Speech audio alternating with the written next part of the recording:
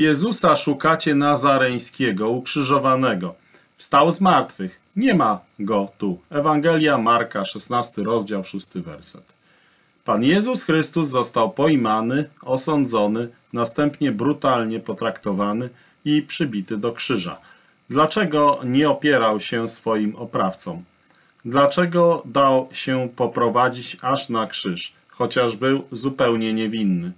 Gdy umarł, został włożony do grobu, a wraz z nim legły tam wszelkie nadzieje, oczekiwania, marzenia i tęsknoty. Wszystko wyglądało na skończone. Z kolei w dniu zmartwychwstania, w niedzielę, pierwszego dnia tygodnia, wcześnie rano, przyszły niektóre kobiety do grobu. Miały ze sobą kosztowne maści i chciały namaścić ciało Jezusa.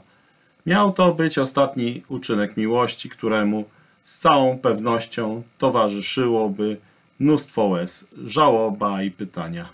Jednak gdy przyszły do grobu, spotkały tam anioła, który do nich powiedział, nie trwóżcie się, Jezusa szukacie nazareńskiego ukrzyżowanego, wstał z martwych, nie ma go tu.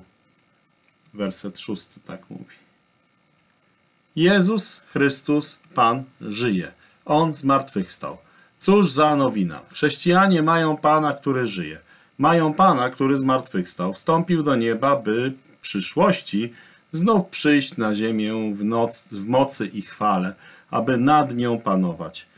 Święte Pismo Biblia mówi, Jezus narodził się, umarł i zmartwychwstał i przyjdzie znowu.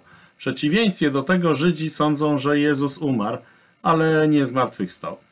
Mahometanizm natomiast głosi, że Jezus nie umarł, dlatego też nie mógł zmartwychwstać. Jeśli przekaz Biblii jest prawdą, to wszystkie inne sprzeczne z nim są kłamstwem. A jednak Chrystus został zbudzony z martwych. Pierwszy list do Koryntian, 15 rozdział, 20 werset.